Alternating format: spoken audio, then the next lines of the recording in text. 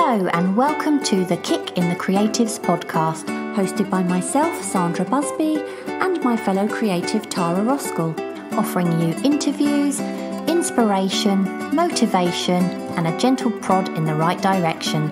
And for lots more information, challenges, and other useful tools to help you get creating, you can go to www.kickinthecreatives.com. And of course, this is where you can also find today's show notes. Enjoy the show.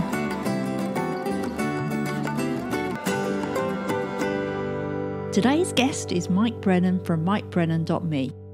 Mike's childhood dream was to be a cartoon, but when he realised that that wasn't possible, he became the next best thing an artist.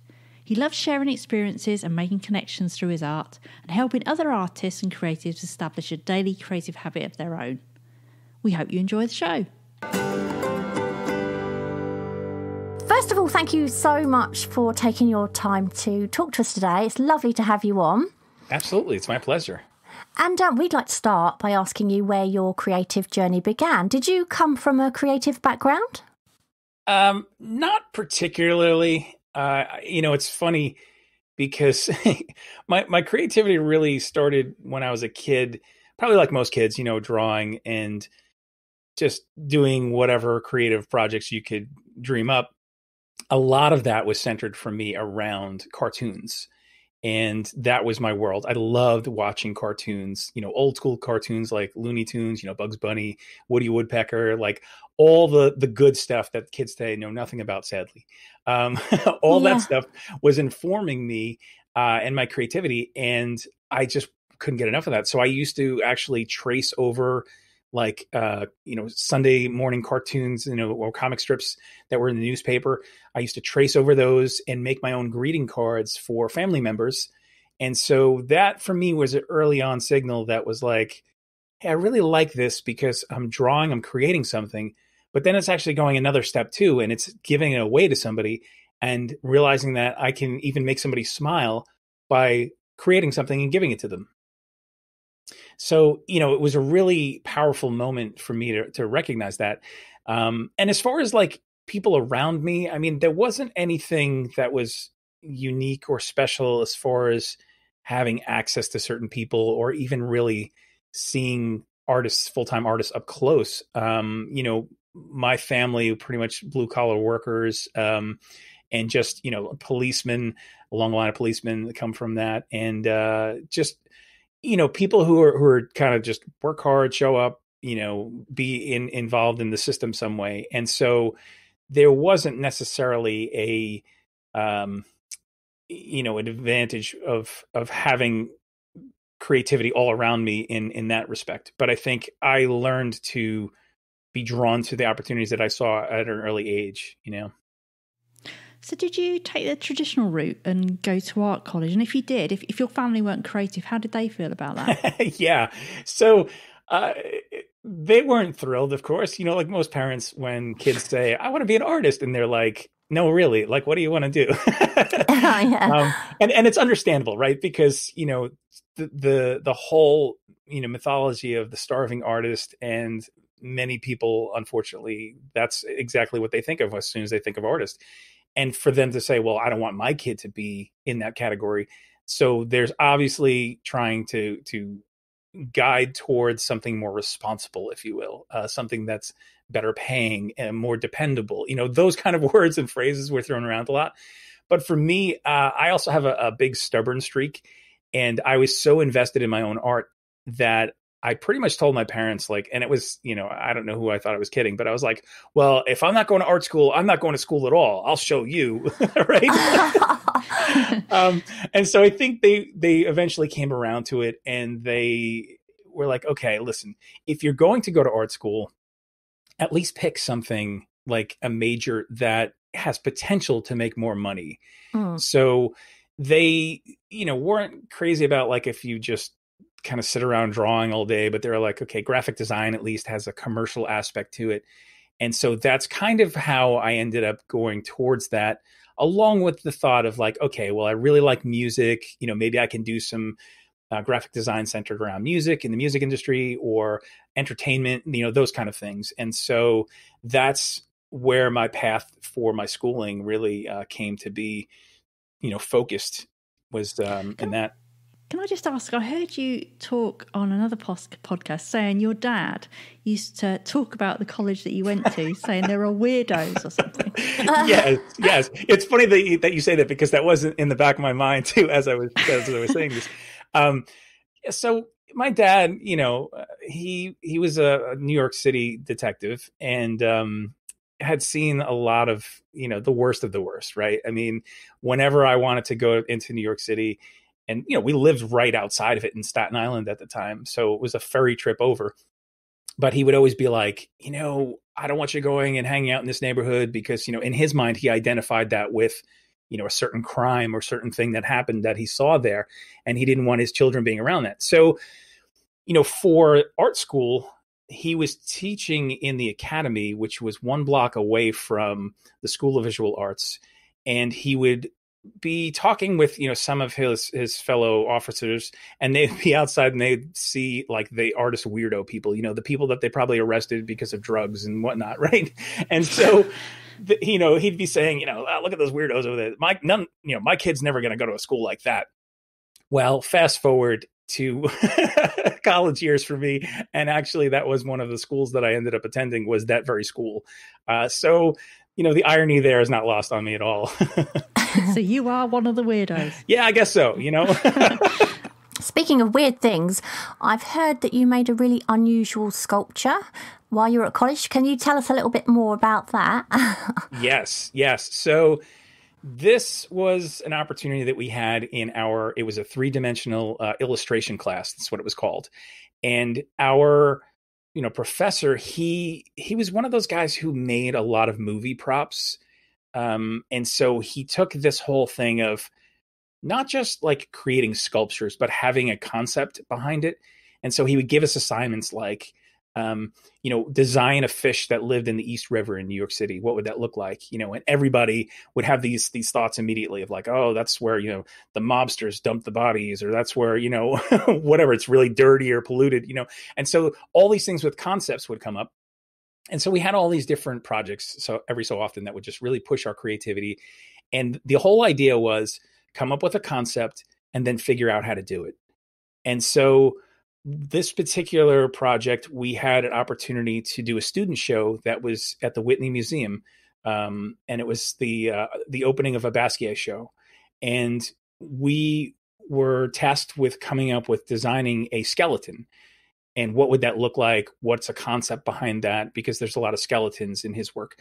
So you know i came up with this idea of okay what if i had a life-size skeleton that was made of dog biscuits and um, just you know somehow had to figure out what what does that look like what does a skeleton really look like and how do i translate that into an interesting design made of these dog biscuits of all different sizes and then i had the problem of like okay so dog biscuits are really fragile uh, how do I transport this thing and how do I connect these things? So this project became something really larger than life for me because it started with this concept and then he approved it and then he said, okay, now go figure it out. And that left us to this place of like being scared to death because you know, I'm like, I don't, I don't know how to like, I'm not good with power tools. Believe me, you don't want to see me out. There's going to be accidents. Somebody's going to end up in the hospital. But I, I had to figure out, okay, well, there are people that I can tap that know how to weld, and so they, they helped me figure out how to weld uh, a frame to hang things off of. Then I was actually using a Dremel, you know, with a small drill bit and drilling little holes and gluing wire to attach these um, different sized dog bones together. So this whole thing came together. And then we had the student show uh, at the Whitney Museum, and it was an incredible night. Um, and, you know, kind of a once in a lifetime type of thing.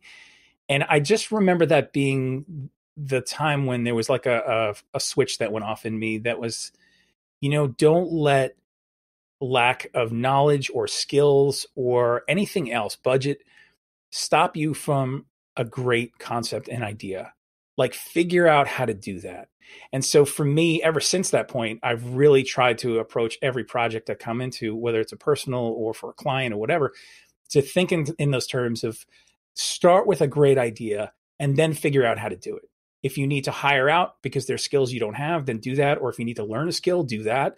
But don't let something stand in the way of a great idea. It seems to me you uh, have very similar kind of mind to Tara, and um, yeah, I just can't fathom. Maybe no, that's I'll the graphic a, design I'll, thing. yeah, I'll make a I'll make a skeleton out of dog biscuits. oh, it's so funny. Very tasty.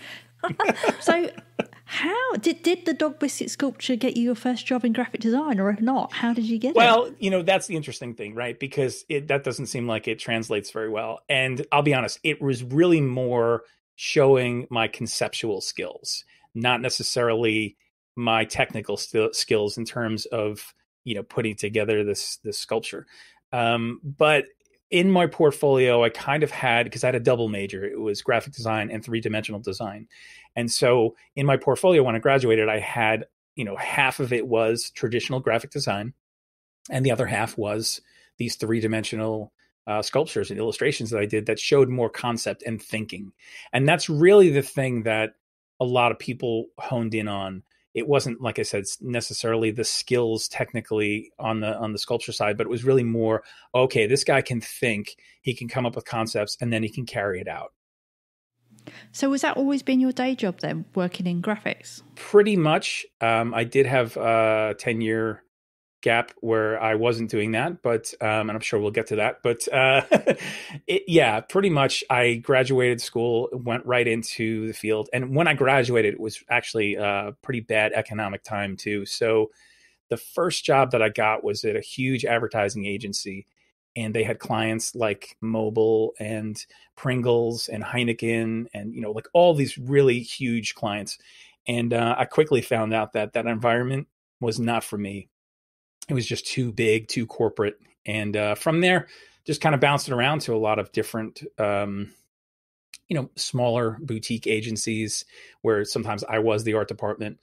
And uh, at, at every turn, it was always like, okay, what what can I learn here? What can I do? And then eventually, you know, I'd hit a ceiling someplace or get restless. And so every maybe four years or so, five years, I'd kind of bounce around to someplace new. So, um, you mentioned about having a long period of not creating. 10 years? I mean that's yes. that's a long time isn't it for a creative person not to create? So why did that happen? Um, what made you take that massive break? Yeah so eventually in my design career i got to the point where like i said i was bouncing around every four years or so and just feeling restless. I think there was something in me that just felt a little dissatisfied with either the opportunities, the expression of creativity. Um, and at the same time, I was very invested in relational things. Like at my home church, I was very plugged in and leading a lot of things where I was serving and volunteering. And that the people stuff really was the thing that lit my heart up at that point. And I felt like my my career had become more of a, a, a job in the sense that I wasn't enjoying what I was doing. There was uh, at this point there were like deadlines every two weeks. I'm cranking out all this work, not even really getting to enjoy what I just did, and then there's another deadline right on top of it, and so started to feel like a little bit like a, a part of the machine, the creative machine, right? And then yeah. outside of there, I was very much coming alive with a lot of the relationships that were in my life and helping people and that harkened back again to when I was a little kid, remembering that feeling of like wanting to be a help to people, wanting to make sure that um, I could offer value somehow. And so I kind of found myself at a crossroads and, you know, kind of a long story, but I ended up going into full time ministry. And um, that meant, you know, kind of moving, uh, leaving my career, a whole host of other things, and really kind of diving off the cliff, if you will, into some unknown. Um, but that was a 10 year journey that taught me a lot about um, just getting more comfortable with risk and getting in there and figuring things out even more so when you don't know um, how to proceed necessarily. There were a lot of instances where, like, my job title, I didn't have one specific title. It was kind of like, I did nursery and children's ministry and college ministry and worship leading and slash slash slash slash all these kind of like different jobs hobbled together. And so I had to figure out what that all looked like. And so in the midst of all that stuff, I didn't do any personal art because I was so focused on trying to adapt to this new role and figuring those you know scenarios out and and how to kind of uh, succeed in those things uh, along with that you know i ended up uh, launching and planting a church with my um, with my friend and that was a whole nother thing of kind of like how do we do this? We don't know. Let's figure it out. And so this whole thing was very uh, kind of crazy kind of um, just very fast paced but in the midst of that i found myself uh, tied to more roles that were administrative. And that really was not in my gifting at all nor in my passion and eventually came to the place where you know after 10 years it started to wear on me a lot more than I ever would have thought, not engaging with my own creativity. You know, I'd have like little little spurts here or there with some things maybe, um, but nothing consistent. And that eventually led me to the place where I started suffering from depression.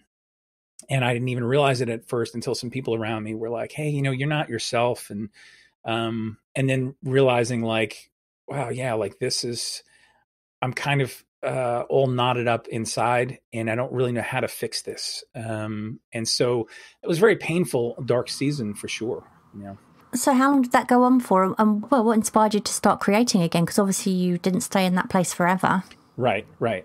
Yeah. So, you know, as as it became more and more apparent that yes, I was suffering from depression, uh, I needed to to start to seek to get some help, and um, as I started doing that, it became more and more obvious that I had to transition out of the leadership roles I was in, and um, and it just meant just time for a change. But I really didn't know what that was going to look like because, on the one hand, I had been in a ministry context for ten years, but felt a little bit chewed up from it, and um, on the other hand, eh, you know, I hadn't been in graphic design for ten years, and a lot of that world I felt like passed me by. You know, as you know, with technology, especially.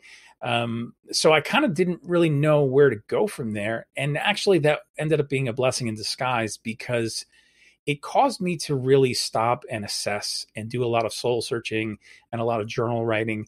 And it was through that process that I started to figure out like, I need to come back to art because it, my soul needs it, because I need it like it's not creativity for somebody else for somebody else's logo or or packaging or you know their projects. But i want to create something just simply because it makes me feel good. And right now i need to figure out how to get back to that. And so it started with me just going like i emotionally i'm not even sure i can do this but i know i need to start moving towards it and figuring out what this looks like again. And so i ended up um, kind of dabbling in a couple of little things here or there. Like I took a class in printmaking, and that kind of was a different expression for me. And so that I found at least interesting. I knew that it wasn't a long term thing that I was going to um, then go towards, but it got me thinking. It got me engaging again. And so I ended up coming across this idea of, of doing a 365 day art journey. And at first, I thought to myself, okay, there's no way I'm going to be able to pull this off. I've gone 10 years without doing anything. You know, how am I going to all of a sudden do an, an entire year of showing up every day and doing something? And so I didn't let that scare me to the point of going, I'm just going to dismiss this altogether. But I started entertaining the idea of like, okay, so if I was to do this, what would this look like? How could I do this? How can I make this manageable? And again, lowering the bar enough, knowing that, okay, I'm trying to come out of uh, depression. I haven't done anything for 10 years. I need to set the bar really low. And so I just decided one day I'm, I'm getting a new sketchbook. And um, I ended up going sitting in a Starbucks and I was sketching the Starbucks coffee cup and I wrote day one at the top and I, I, looked at it and I felt horrified because we've all been, like, we've all been there. yeah, you know, like I was like, I really hope that nobody's looking over my shoulder, and because if they were like, "Oh, you went to art school," and then they saw what I what I accomplished, you know, technically, it was just way embarrassing. But the thing was, I knew that it was all that I could manage for that day. It was ten minutes. It was an awful wonky Starbucks coffee cup, but I learned to love and hate that drawing. I loved it because it signified for me day one on a new journey and you know not to despise humble beginnings. And and i hated it because obviously technically it wasn't what i wanted it to be um, and what i believed i could do and once did do. But i knew that this at least was let's reintroduce yourself to doing this again. Let's figure this out. Um, and so showing up and engaging in the process at that point was more important than the product, if you will. Have you kept that sketchbook? Yes, yeah. yeah. Every once in a while, I'll take it out. Um, I've shared it in some videos that I've I've you know shown online and so forth, and because I think everybody needs to have some encouragement, especially in the beginning, or if they're returning to their art after being away for a long time. It's a scary thing, and it's you really fall victim to a lot of that inner critic and just that the whole thought of like i don't know if i can do this again. Like it was a part of my life maybe once but does it have a place anymore? And so for me to be able to talk about my experience i think it helps normalize that a little bit and hopefully encourages some people and says look if i can do this then anybody can do this. Have you got any other tips then for someone who wants to start drawing again after a long break? Yeah i would say give yourself grace. And what I mean by that is like if you were going to speak to somebody else who was interested in coming back to their art, you would never treat that person in such a way that you you belittled them um, and set the bar so high and became like this taskmaster. But often that's what we do with ourselves. Um, and so I would say start in a place of grace, lower the bar as much as you have to, don't think about like this grand masterpiece but sit down and simply just engage in the process for as, as long as you you can. And if all you can muster is 10 minutes a day 10 minutes is a lot better than than not showing up at all.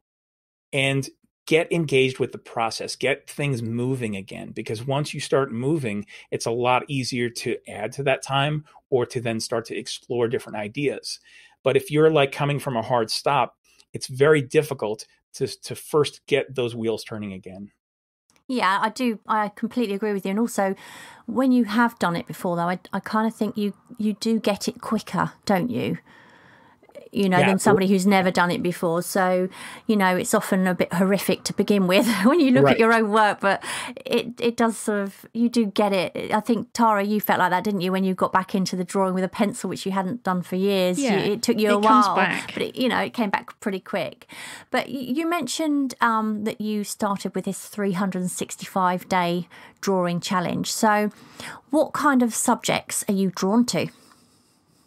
Well, you know, it's funny. In the beginning, it was so wide open that I was like, I don't, I don't even know. Like, what do? Can I trust myself? Can I trust my instincts? You know, can I mm. trust thinking about what I think I like anymore? I don't really know. So, I decided that I was going to set up small projects within the larger project. So, what I mean by that is, I said, okay, what if I do seven days to start with?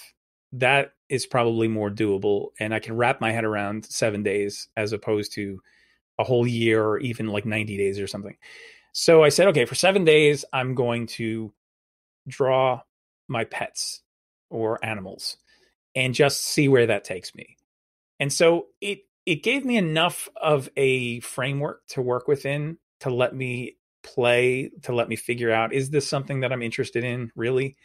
Uh, and if not then seven days comes and goes and they go okay let's move on to another theme or another you know um, smaller project. Uh, and, and all within that holding things very loosely because again the last thing that you want to do is set yourself up for failure in thinking okay i'm going to do 90 days of you know floral arrangements or whatever and i'm like two days in and like yeah i'm not really that interested in this. You know i'm yeah. not a flower guy you know?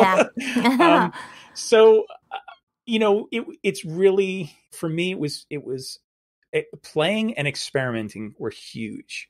I needed to do that in the theme and i also needed to do that in the medium that i was using. Um, i tried to mix things up as much as i could to keep things interesting. Um, and at the same time give me some tastes of something that go is there more here that I want to explore? It's quite a good idea, I think, to chunk it down like that, isn't it? Because, like you say, yes. it's not it's not nearly as intimidating saying, "Right, I'm going to start with this seven days," than it is to say, "Right, I've got 365 days of drawing ahead of me." right, exactly. Did, did you ever uh, miss a day? And because I know that there are people out there who might take on a challenge and then because they miss one day, all of a sudden they're like, well, I might as well give up. you right. know, it's it's a bit like that diet thing, isn't it? You eat the chocolate bar and it's like, oh well, that's that then. Mm-hmm. You know, so so you know, did this ever happen to you with your your challenge? Did you miss a day? And and if you did, you know, did you just think, oh well, that's fine. Tomorrow's another day. How did you deal with it? Yeah, um, I can say honestly that I have not missed a day. Oh wow! Uh, even you're still going, aren't you? Yeah, it's eight plus years. It'll be nine oh, years wow. in April. Yeah, that's yeah. amazing. That's yeah. amazing. And Christmas Day, uh, yeah, uh, holidays, yeah. even being sick, um, oh, vacations, God. you know, whatever. It doesn't matter. Um, I just built in a rhythm, and it just is part of what I do. It's it's just as much a part as getting up, brushing my teeth, showering, eating, whatever. Um, so do um, do you set do you set like aside a, a, certain amount of time every day at the same time of every day, or do you just kind of work it around each day and and the time you've got around what you're doing? Yeah. So now I have a loose time, but pretty much the same time. It's usually in the mm. evenings at which I create. And a lot of times, honestly, if it's like the family sitting around watching TV or I'm watching TV, I'm kind of not really watching TV. I'm, I have the TV on and I'm also creating um, and I've kind of learned to use that time that way. Um, but in the beginning, it was really important for me to learn to schedule it because I knew myself enough that if I if if it was too loose, I would have more opportunity to not show up. And I didn't want that to be the case. And so I remember, I think it was either somebody telling me or me reading it in a book someplace, but it was like, show up like you would for an appointment uh, put it on your calendar, schedule it so you know at this time, this is the time at which you're not doing anything else but, you know, showing up for your creativity. And in in the beginning, it was, you know, like I said, maybe 10 minutes, maybe 15 minutes, really whatever I could manage. And maybe I was, you know, and at this point I was working a day job. And so I was stealing moments during a lunch hour or maybe in the morning not really because I'm I'm a morning person. Uh, I'm not a morning person, I should say. I'm more of a night person. But you know, if if I had to, um, it was either morning or night. Um, it was basically identifying some time slots that I could steal for my creativity, and um, and then there were even other times when I'm like, what? Where are those times when I'm wasting time? Like, say, I, if I was out at a store and there was a really long line of people I'm waiting in and instead of standing there getting frustrated, looking at my watch, tapping my foot, getting aggravated with the people in front of me for not moving, you know, whatever it is, I was like, why don't I use that time more effectively and carry a sketchbook with me and sketch while I'm waiting? Uh, we all have those times when we're we're you know would would normally it would be wasted time. How about we learn how to redeem that time for our creativity? And so it was like little tips like that too that were helpful for me in figuring out how to um, continually show up and maximize the time that I had.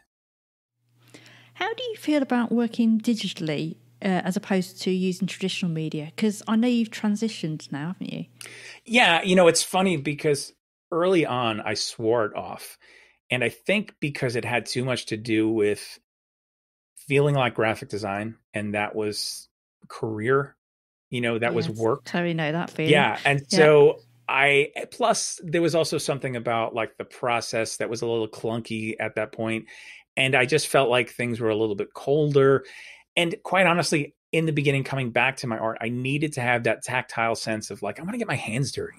Yeah. I want to start flinging some paint around and just making a mess and that was the other thing too is like understanding that like i'm a mess and that's okay. Like i need to embrace my mess. Instead of you know constantly pushing towards trying to be a perfectionist in some things like embrace more of my mess and, and then actually i find more freedom in my process. And so you know for for me a lot of like design it was very much about precision you know, lining things up and grids and a lot of that kind of work.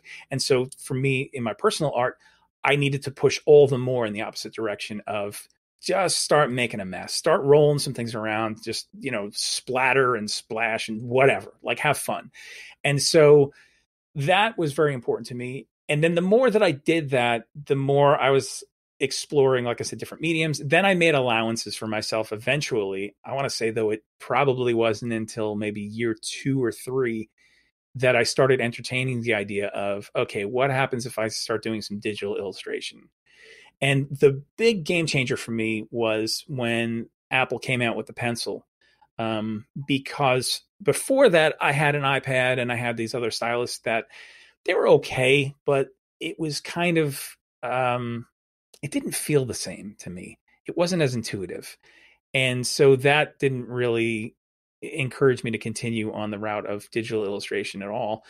But then when the pencil came, like I said, with Apple, and I got a new iPad, and that was just a complete game changer, along with some other programs like Procreate that came out. And I started using those, and I was like, wow, this is incredible. I can actually get something that looks like it was done with traditional materials, but do it in digital style and and um, you know process. And the nice thing about I found was that I was able to play and experiment mixing different mediums and things digitally that I didn't have to worry about dry time or I didn't have to worry about experimenting with something and having it be you know wrecked because oh I can't undo that. You know there's no uh there's no undo button you know? Did I tell you what I'd love an undo button on my canvas. Yes. That'd be amazing. So talk us through your process then. How do you get from the initial idea to the finished piece yeah so it really depends on what that I'm what what I'm trying to do um sometimes I have a very specific idea that comes to me and it's rooted in concept. Um, and so I'll see something or I'll be inspired by something and I'll start to kind of follow the rabbit trail and then just kind of get in there and start to flesh something out and build slowly. Um, most of the time, I'm being inspired by something that I'm seeing, whether it's uh, there's a lot of stuff now that's really more like in entertainment. So whether it's movies, TV, uh, pop culture things, um, that's inspired me a lot. And so I'll set about doing some, you know, portraits of, of certain celebrities or actors or whatnot. Um, other times in the past, it's been driven by like I, I did a whole, I want to say a good year, year and a half where I was doing yoga art and uh, if you know me, that's kind of funny. And a lot of people who do know me, they were like, "Dude, what is the deal with the yoga art? Because you're not you're not yoga guy. You know, you're uh, you know you're a forty something overweight guy who's you know how does yoga fit into that, right?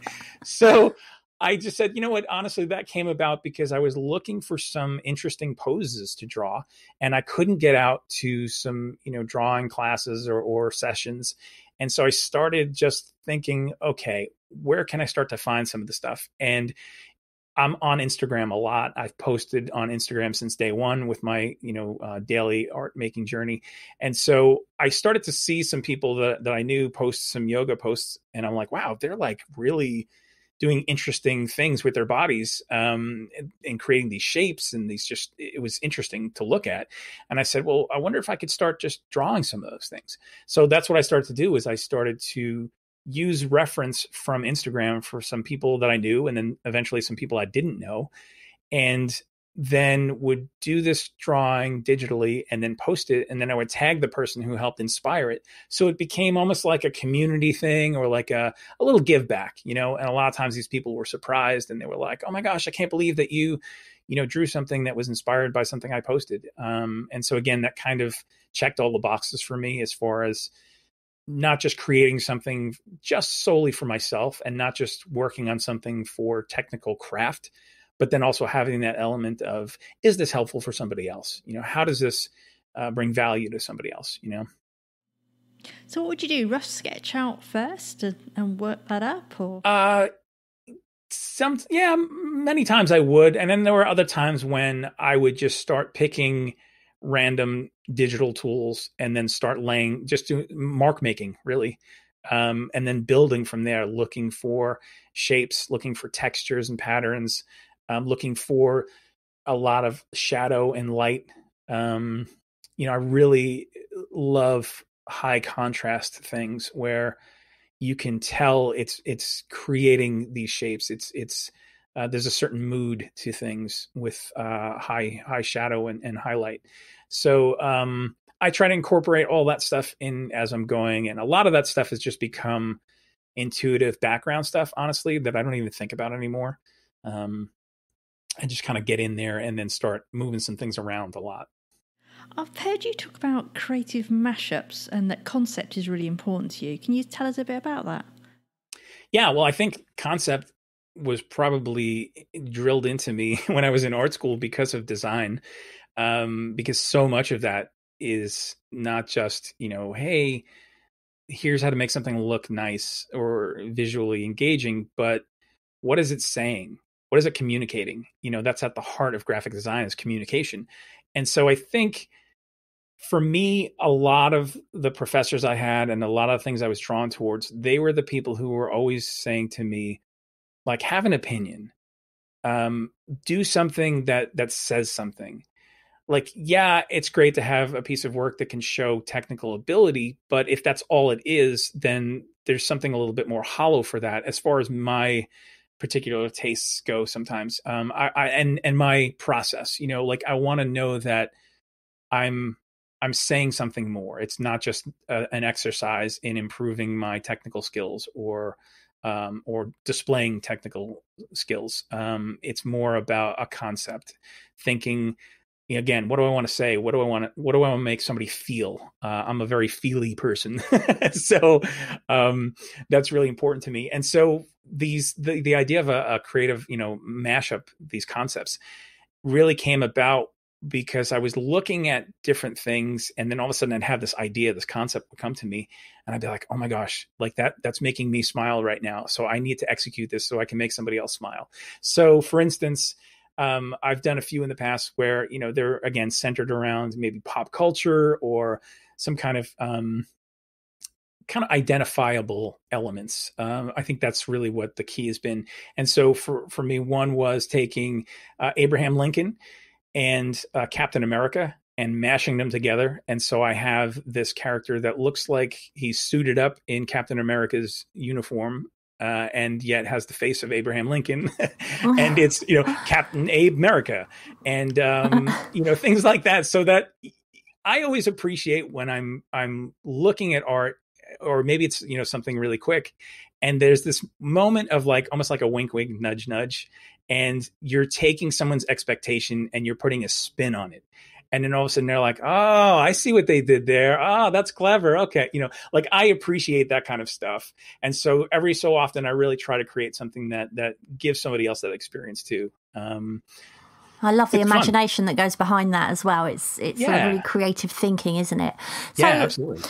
I mean, eight years, eight years of drawing every day. Have mm-hmm. you, in that time, ever experienced a creative block? And if so, how did you overcome it? Yeah, I don't necessarily say that I had a block, um, because there's so much of the showing up daily that in the beginning, it's a lot about creating momentum and creating a habit and not so much about the actual work that you're producing because it's going to be bad. Um, that's kind of a given.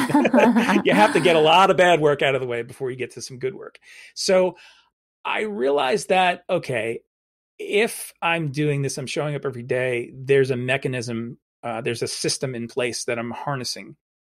And so I know that I'm going to show up. And now it's a matter of, okay, well, what am I going to create when I show up? Right. And that's where the block a lot of times comes. Yeah. Well, I've learned that, and this again kind of harkens back to graphic design days where, you know, back in the day, back in the day, for any kids listening, right?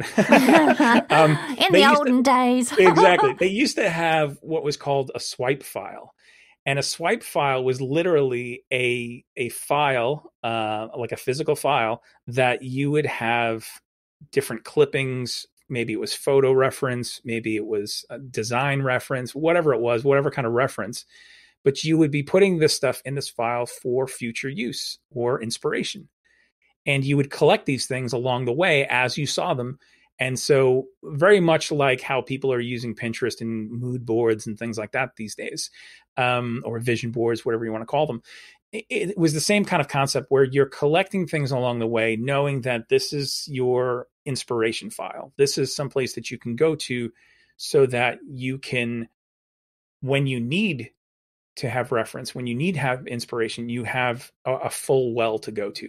You're not trying to draw from an empty well.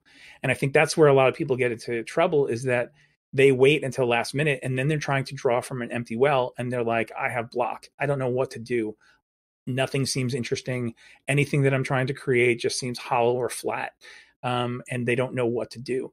And so giving yourself the ability to go someplace that you've invested in previously, specifically for that time, that you can then go to and be inspired, be drawing upon those things, having something to play with, that gives you a tremendous uh, start. And so I would say that is definitely um, something that I try to employ as much as possible. That is and then on top advice, of that, I would yeah. also say that you like for me, the times when I've I've experienced any kind of block really within this eight year period that I've been doing stuff has been when things have gotten a little boring and I needed to inject some more play or change things up somehow so that I kept engaging. Because if I felt like I was doing the same, too much of the same thing over and over again, I was doing a series of something. By the end of the month, it was 30 days of something. I'm like, okay, this is getting dry, or I'm falling into habits of doing things the same old way. I need something to keep me engaged. How can I change this up a little bit? Yeah, because I was going to say, uh, uh, what about then rather than saying have you experienced a creative block? Have you ever just thought i don't feel like it today because there must be times when you feel like that but you obviously just power through. Yes. Yeah. Yeah yeah. And knowing that tomorrow's a new day and if i did something today that is horrible that i feel is just ew i don't want anybody i don't want to remember this you know? Um, then i can rest easy knowing again tomorrow's a new day and i have a new opportunity for a blank canvas. Mm. So if you don't feel like drawing as well, would you just sit there and do something for five minutes? Uh, typically, I push myself to do more than that. I mean, there are there haven't been too many times where I'm just like, okay, I'm just really not that into it. I'm just gonna like phone it in and uh, push my pen around the page, and this scribble that I happen to come across. That's what I'm calling today's, you know, hmm. uh, you know, assignment, if you will. I, I really try to do something um, and even if it means, again, trying to approach a new subject or a new, um, inject something new in the process, that sometimes will help me even when I'm not feeling like it, because I know that I can't trust my feelings in those instances. Do you always finish a drawing in one session? Uh, in terms of my daily creative projects, yes there are some things obviously that need more than just one setting um, and those are a case by case basis a lot of times like if it's a lot of client work that i'm doing or there's something that's a little bit more involved like i am actually using traditional materials uh, doing a painting or something then it will be you know multiple days and multiple sessions. But the thing that i've learned in doing a majority of the stuff in one session has been like not getting bogged down in overthinking things and having to commit to things a lot quicker. And there's this pace that you just start to get into where you're you you then start to become so prolific with a lot of things. And again not everything's like a, a, a something you want to sell or hang on to or even show but you really start to, to mine a lot of things quicker because of that pace. Are there any books or courses that inspired you along the way? Uh, there, yeah. I mean, there's one in particular that I'll mention that was really game changer for me early on, and it was uh, the Creative License by Danny Gregory. And, oh, I love Danny Gregory. Yeah, Danny Gregory is, is I've got amazing. that book. Yeah, Creative yes, License. Yes. Yeah. So for me, that was the thing that, like, when I was coming back to my art, and I had all this like mental baggage too of like, you know, for for me, art early on, I had convinced myself that I really couldn't draw. I wasn't a great artist uh, because I couldn't do photorealistic style. And for for whatever reason, that was the benchmark that I had set out for myself. And when I tried to do it, I would get very frustrated and I didn't like the results. And so the whole thing was just shrouded in this like yuck. And so when I started reading this book, Danny started to talk a little bit about that. And he said, you know, if you want photorealism, then just take a picture. And I know that sounds like a funny sentence, but for whatever reason, that hit me the right way in that moment. And I was like, you know what? I actually enjoy photography too. And so if I want photorealism as a result, then I'll just employ that means of creativity. And then he said, you know, showing up to do a five or 10 minute drawing is better than no drawing at all. And I took that to heart from day one on my journey. And then he also said sometimes the wonkiness of what it is that you're drawing actually makes it a more interesting drawing and sometimes becomes something that's part of your style. And I had never thought about it that way because it was always this sense of if I'm trying to draw something and I feel like something goes sideways, it's a little wonky, proportions aren't, eh, you know, spot on, I would I would immediately fly into ah, this is horrible, I can't do this, or I'm frustrated, or or you know, there's this disconnect of what I see in my head and what I'm seeing on the page. And then instead of embracing it and saying, okay, this is what I did right now. It, what is successful about this? What is interesting about this? And maybe it wasn't intentional in the beginning, but then if there's something about that that I like, how can I then revisit that and make that intentional? Um, so it was really just a different set of lenses to look at things and to approach the work by. Um, that really unleashed a lot for me in the early days, especially. We actually interviewed Danny Gregory. I can't remember what um, what podcast episode it was, but it was fairly early on. So if anybody hasn't heard of him, it'd be worth going back and having listened. But yeah, he was very inspiring because, you know, like you say, he he takes away that fear of just just trying and having a go and not being yeah. perfect. I mean, you know, I always say, you know, if you were to sit at a piano uh, you'd never expect your very first time to be able to play a tune, would you? But for some right, reason, right. as artists, you, you you know, no matter whether you're starting from the very beginning or not, just because you're an adult, you think, well, I should I should know how to draw. I should just be able to do it. right. So it's strange, isn't it? How how differently people think, you know, along the lines of art. Yeah. So, what um, tips would you give anyone who wants to build a creative habit? Yeah. So I think it's like I mentioned earlier, breaking things down into small, bite-sized projects, or um, you know, engaging with it in such a way that you don't feel overwhelmed from day one. Hmm. Um, think about today. Like, if this is the day you've decided I'm returning to my art, then just think about today, and like have maybe you know the next whatever five days or seven days out of that chunk have some thoughts around that so that way when you're done with today you're moving on to tomorrow and you have something at least set up. Um, so you're not just again starting from square one going like i don't know what to do. I don't know how to engage with this. Um, and again i think in the early days it's really more about establishing the habit than it is about the actual work that you're doing. And when you realize that that also takes a tremendous amount of pressure off because you know i talk to a lot of people about this whole idea of masterpiece mentality that plagues us where as artists we want to sit down and we want in one session to walk away with something we feel is our masterpiece.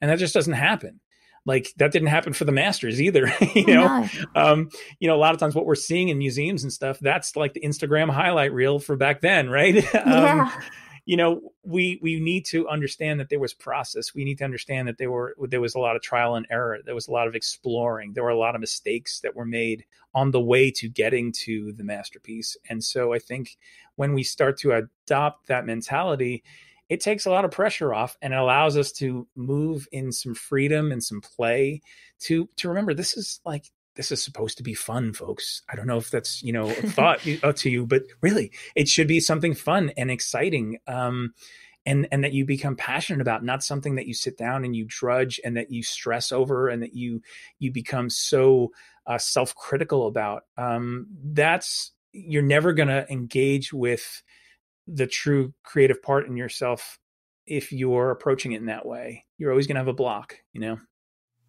You've actually got a Facebook group, haven't you, as well, called um, Daily Creative Habit. Is are Yes. you teaching people about that in there? Yes. So this is a, a, a new group. I just started this October. And the reason why I launched this group, Daily Creative Habit, is because I found that so many artists that I've spoken to, and not just visual artists, but just creatives, right? So that we have some people who are writers, some people who are musicians, you know, et cetera, in this group.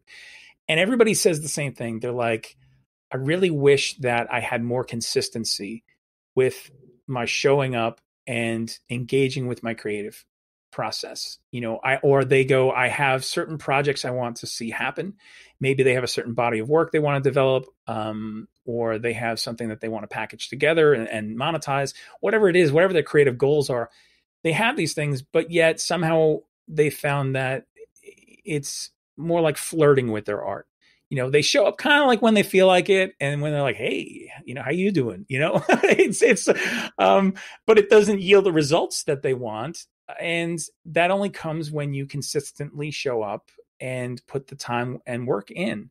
And so i've created this group to be a place where people can come they can post some things. I'm sharing about my uh, process and just my learnings for over the past eight plus years of you know how did i go from 10 years of doing nothing into now eight plus years of showing up every day? What are the things that i've learned along the way? Um, what are the things that i've had to struggle with along the way and try to normalize a lot of that stuff? Because i found that the more that we talk about those things the more it does normalize and the less that that other artists feel like they're isolated uh, the less that they feel like they're unique in their trials you know? Uh, us artists we're great at that right? We we like to feel as unique as possible. We want to be as different as possible, right? but we also shackle ourselves sometimes with, you know, the the the rough things that we go through, thinking that we're the only ones who struggle with the inner critic. We're the only ones who struggle with perfectionist streaks or you know with procrastination. Um, but the truth is, the more that we talk about it, and the more people lend their stories and journeys to it, then uh, there's power in that community. Um, you've also got a course called Your Artist Journey. Does that follow on kind of from the Facebook group? Yeah. So your Artist Journey course actually came first. Uh, I did that a couple of years ago, and I, I created that course because I realized uh, probably about halfway, maybe a little more halfway into my journey, that the things that I was experiencing and the lessons I was learning, I was like, this isn't just for me like yes it's been tremendously helpful and has completely transformed my creative path but there are other people who i think can benefit from a lot of the things that i've learned along the way of what to do what not to do certain principles and methods and how to again uh, build momentum in their own creativity. And so i said you know what better way than just to put some of this stuff into a course where it's you know self-guided and people can you know start to glean some of those insights and apply them to their own journey So tell us about your your podcast. Yeah. So my podcast is Creative Chats. And um, I love speaking with all types of creatives. Uh, so it's visual artists, it's musicians, it's actors, it's uh, a lot of times creative entrepreneurs, because I found that even if they're creating content, right, such as blog posts or, um, you know, social media um, material or course content, whatever it is that anybody's creating, everybody has that thread that runs through no matter what the expression is that that you can relate to. Uh, this this thing of i have an idea i have this project i have this thing i want to sit down and create. Now how do i sit down and do this in such a way that it's successful that it's clear that it does what i want it to do? Um, and so I interview all sorts of people and just ask about their journey. Again, try to normalize some of the things that for some of the people who are listening who maybe they live in a really remote area and they're not in an arts community and they feel like the odd man out. And so for them to listen to somebody else's story, all of a sudden they resonate with that and go, oh, wow, like that means so much to me because now I can hear how somebody else dealt with that. Um, or they get turned on to somebody else's um, you know projects and creativity and they can find some inspiration in some other people's work. And so i love having these chats. Um, they're exactly what they sound like you know it's very casual but um, i really try to explore these different themes with each guest and um, and just have a, a, a great time personally just learning more about them being curious and then sharing that with our, all the listeners. So, so what's your podcast called? Just I don't know if you said, just so Yeah, our called listeners know. It's called Creative Chats Podcast. Creative chats. Okay. Yep. So, what about your plans for the future then? Because obviously you've got a lot going on with your group and your podcasts and your own Yeah. art. So, what are your goals then for the future, or are you just, you know, taking things as they come? Yeah, you know, it's funny. I, I've I've never been somebody who's been like, well, here's my five year goal and plan. Like, No. I'm not somebody who spells things out that specifically. I have certain projects and certain um, products and things and services that I want to see happen. Um, and I try to employ the 90 day goal system, you know, where you're planning out 90 days and then that gives you enough time and focus to really drill down on something as opposed to, you know, somewhere in the next five years, I want to do, you know, whatever. Um, because I found that then things tend to get lost a little bit too much. You're not really thinking about how much time does it really take to create that, you know?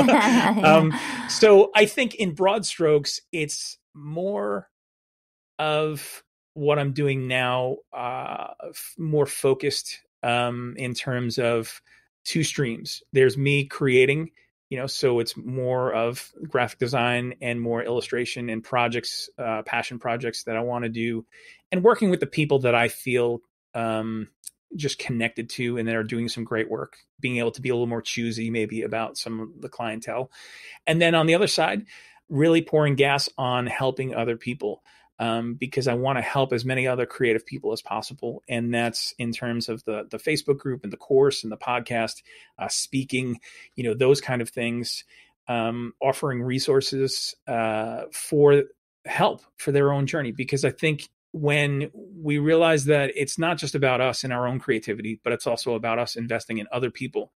That's when we can really maximize our impact and to know that like we've had people who have meant so much to us on our journey who took the time to invest in us then we need to turn around and do that for somebody else and not let our lack of uh, confidence or experience or anything else that we want to throw in the way there as an excuse don't let that stop us but be for somebody else what you wish that you had or what you did have for yourself And where can people find out more about you?